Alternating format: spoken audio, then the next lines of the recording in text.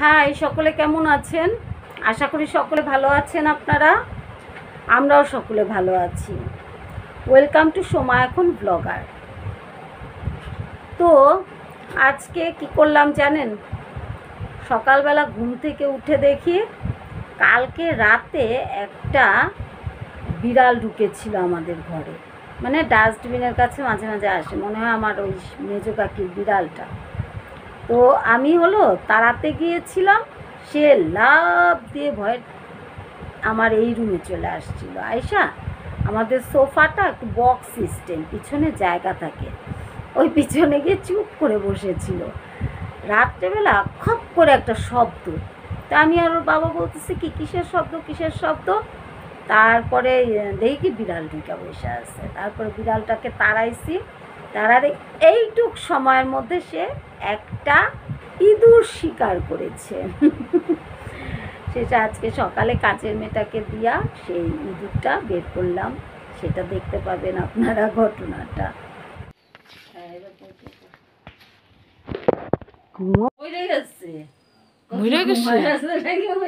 তুমি বলছো আমার ঘুমাচ্ছে গন্ধ। ফেলা দে ফেলা দে। ভালো লাগছে না।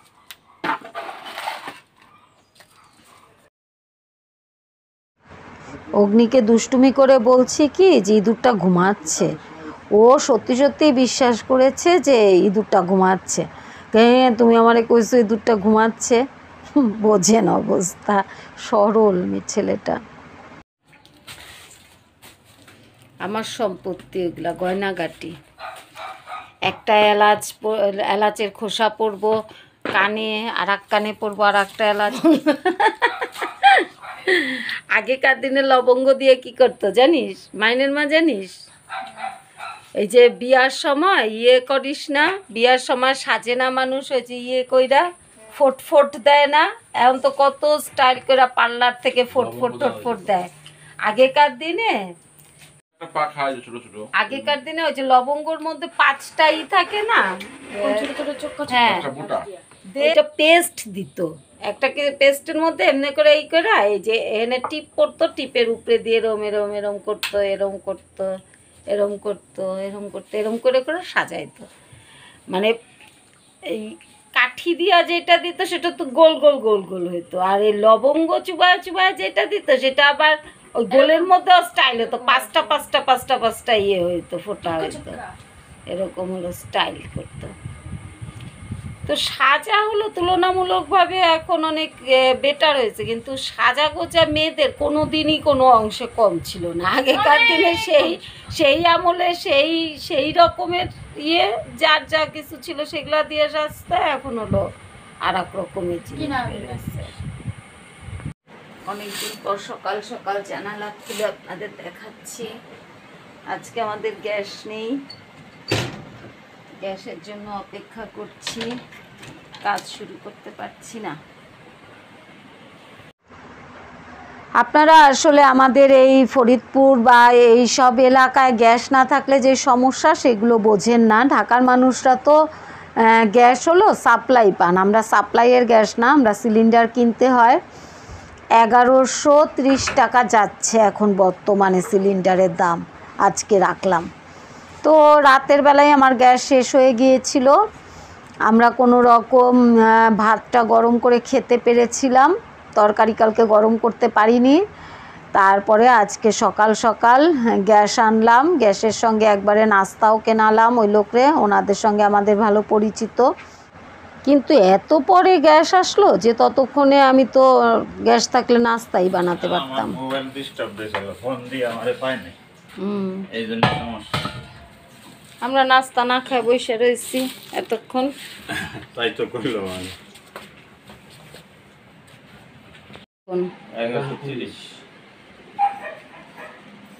এত বাড়ছে কেন গ্যাস?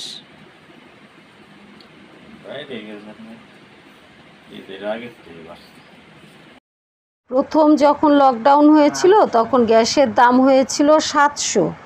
সেই গ্যাসের দাম বাড়তে বাড়তে এখনও কিন্তু লকডাউনের মানুষের দুর্বিষহ জীবন অথচ এখন এগারোশো পড়তে বসে গেছে আসে না। অগ্নি! অগ্নি আজকে ছোট ছোট পরেটা খাইতে মজা। তো দম আটকে আসবে না বড় পরেটার মতো? আর ডাল ভাজিটা একদম মাখা মাখা। এই যে ছোট পরেটা। নে খা। এতক্ষণ ডাকছে আসে নাই ছোট পরেটার কথা শুনে আসছে আমার গুণধর ছেলে। আর খাবার দাবার অনেক ছোট ছোট হইলে ভালো না অগ্নি? টুলটা নিয়ে বসে ডাল ভিজি ভিজি না এটা হলো ওই যে ওনাদের ডাল ওরকম হয়েছে কোনো পানির মতো? বেশি পাতলা হয়ে যায় এই ডালটা সুন্দর। খাও এটা অগ্নি না, এখানে জল জলের। থেকে ওদিক যে দাঁড়া হ্যাঁ। পানি বেশি দেয় কম দেয় মা দেখো এই ভিডিওটা এখানে কি দেখাইছে? খালি খুলতেছে তো আর চকলেট দিতেছে তুমি পড়ো এসব ভালো লাগে না এগুলো দেখে কি হবে? চকলেট পায় না কেক পায় আমাদের খালি চকলেট পাইতেছে। আমার যদি জন্মদিনে এরকম চকলেট আমার রাগ লাগতো আমার কেক বেশি পছন্দ চকলেট ওই যে সামনে তোর জন্মদিন না দাঁড়া এবার তোর চকলেট দিয়ে বসা রেখে কেক দেবো না। ভালো হবে? কেন? না পড়িস না কেন তুই? যা তাদের পড়তে বল।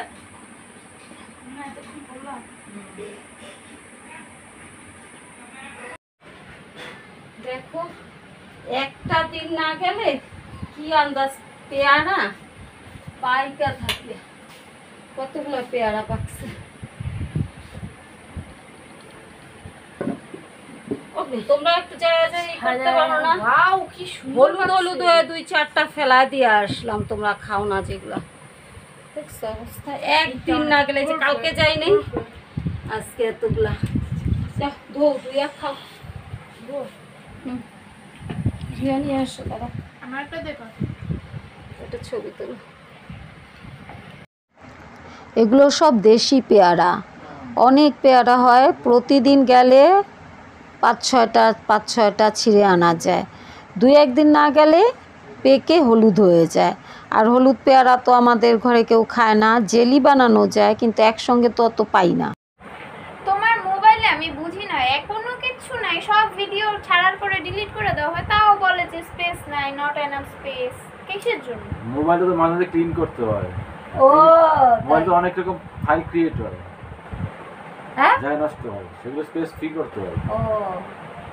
প্রত্যেকটা অ্যাপস অ্যাপস ভাইরাস আমি তো নিজের দিনে দিনে দুই তিনবার করি। নিজেরটা দিনে দুই তিনবার করেন। তা আমি তোমার সেক্রেটারি রাখছি কি? এমনি এমনি? আমার মোবাইল ক্লিন করে না নিজের মোবাইল ক্লিন করে। এতদিন পর আমারে বলতেছে যে মোবাইল ক্লিন করি আমি তিনবার। করি আমি আমার মোবাইলটা কি সেটা কীভাবে করে? কোনো অ্যাপস দিয়ে? আজকে মাঠটা হ্যাঁ। দিবা। আজকে করো দিও। করে দিবা। স্টপ ইট তো আজকে আমি রান্না করছিলাম যখন তখন একটা ঘটনা আমার মনে পড়ছিল। আমি স্কুলের আপনাদের বলেছিলাম যে আমি মাঝে মাঝে স্কুলের কিছু কিছু ঘটনা আপনাদের সঙ্গে আলোচনা করব। তো একটা ছাত্র তো মারা গিয়েছিল, সেই কথা আপনাদের সঙ্গে আলোচনা করেছিলাম। আজকে এই যে সামনে পূজা আসছে, আর এই সময়টা ডোবা ডাবা চারিদিক ভরা থাকে, পানিতে থই থই করে। এই সময়টা দুইটা ঘটনা আমার মনকে খুব নাড়া দেয়। একটা হচ্ছে আমাদের বাসা, আমার সাহায্যকারী আমাদের, আমার মার ঘরে ছিল সে, পারভেজের মা। তো ওই সাহায্যকারী মানে ওনার তিনটা চারজন ছেলে মেয়ে। পারভেজ, পারভেজের বড় বোনটা, ছোট বোনটা, আর তার থেকেও ছোট একটা ভাই, আর ঈদ এখন হয়েছে আরও একটা ছোট বাবু। ও ও তো যে স্কুলে ভর্তি হলো দুই বছর। আর যখন ওই যে মানে তখন ওই ছোট ছেলেটা ছিল ওর মা ওরকম, সেই ঘটনাটা আমি পরে বলব। মানে এটা বলতে চাইতেছিলাম না, কিন্তু দেখেন ওইটাই চলে আসছিল। যাই হোক, আজকে যেটা সারাদিন আমি খুব কষ্ট পাচ্ছিলাম, সেই কথাটা আমার মনে আসছে, ওইটা আমি বলি। সেটা হচ্ছে, এই সময় পূজা পাঁচ, ছয় দিন পরে পূজা। তখন তো করোনা টরোনা ছিল না। এই বছর দশেক হবে ঘটনা, তার আগে। তো বছর দশেক আগে ওরকম মা যাচ্ছে পূজার মার্কেটিং করতে। তো মেয়েকে বলেছে কি, মেয়ে করতো ক্লাস টুতে ওই মেয়েটাকে বলল কি যে তুমি ঘরে থাকো, বের হয়েও না, আমি বাজারে যাচ্ছি। তো পাশাপাশি দুই পরিবারে দুজন মহিলা ওরকম গেছিল হলো পূজার মার্কেটিং করতে। তো পাশে ডোবা আপনারা তো চেনেন, তাই না? মাঠ ঘাট যেগুলো মানে ওইখানে হয়তো বা শুকনার সময় মাঠ থাকে। সেই মাঠের মধ্যে বলো মুখে কি? না না পূজার সময়। আমার স্কুলের ঘটনা আমি জানি না তুমি জানো। আমার বর বলতেছে ঈদ ঈদ ঈদের সময় না পূজার সময়। কেন? ঈদে পূজার সময় কি হিন্দুরা মার্কেটিং করে না? পূজার না না পারভেজের মার কথা তো বলতেছি না। বলতেছি দুইটা ঘটনা আমার মনকে খুব মানে ই দেয় কষ্ট দেয়। তো পারভেজের মার ঘটনাটা আমি আর দিন বলব। আর আজকে বলতেছি হচ্ছে আমি আমার স্টুডেন্টের ঘটনা। পরে ওই ইয়ে হলো, চলে গেল ওর মা আর পাশের বাড়ির এক মহিলা দুজনে মার্কেটে। তারপরে ওই মেয়ে দুইজন, পাশাপাশি বাড়ি দুই মেয়ে, ওরা দুজন করল নাকি? নামছে ওই যে সেই জল জমছে সেইখানে। আর ওরা না খুব ঝাপাঝাপি করতেছে সাঁতার টাতার কাটছে। তো পাশে ছিল একটা কলা গাছের একটা ঝোপ, ওই জলের মধ্যে।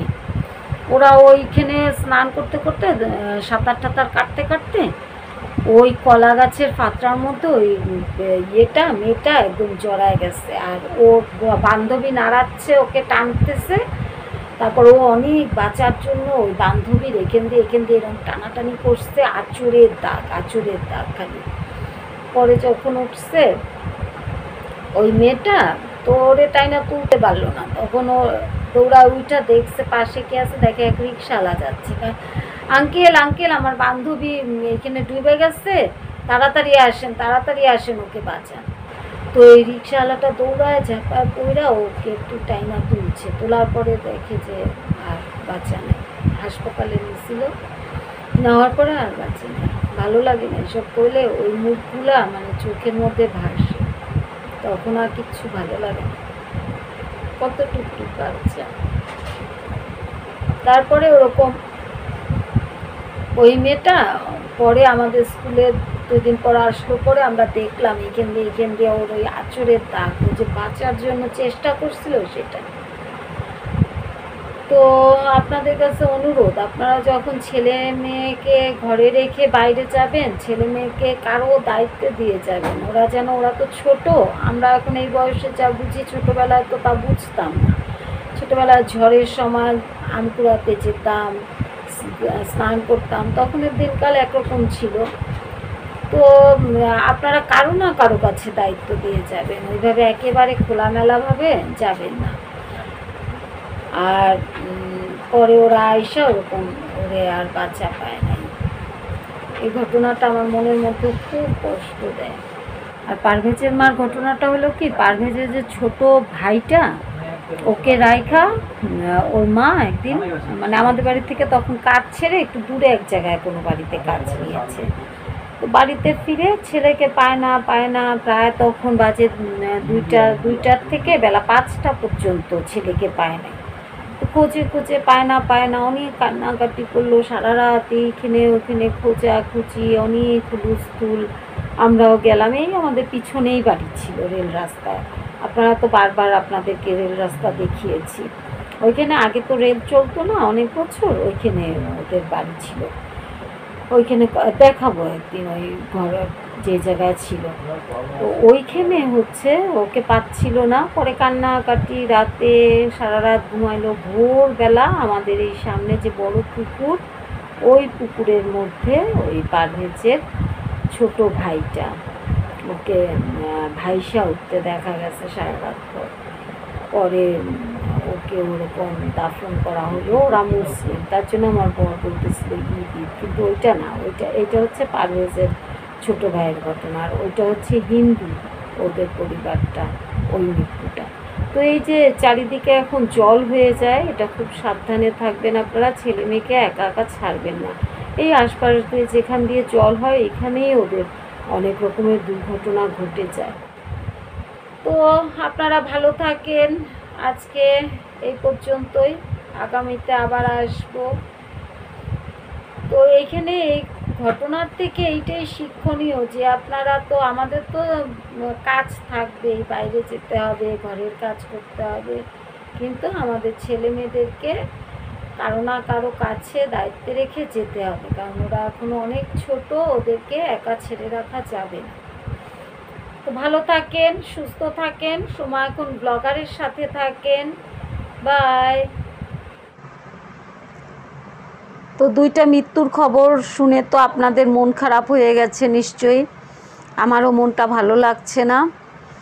তো আমাদের এই জীবনের যে শেষ কোথায় আমরা কেউ জানি না। আজকে আমি এই কথাগুলো বলছি, কালকে আমি নাও থাকতে পারি। তো আমার আগের একটা রেকর্ড করা গান, এই সময় আপনাদেরকে আমি শোনাচ্ছি। আপনারা এই গানটা শুনে মনটাকে ভালো রাখেন আর আমাদের জীবনে যা কিছু সুবাস আমরা তা ছড়িয়ে দেবার চেষ্টা করি, কালকের অপেক্ষা না করি। যার যা কিছু আছে আজকেই দিয়ে দেবার চেষ্টা করি।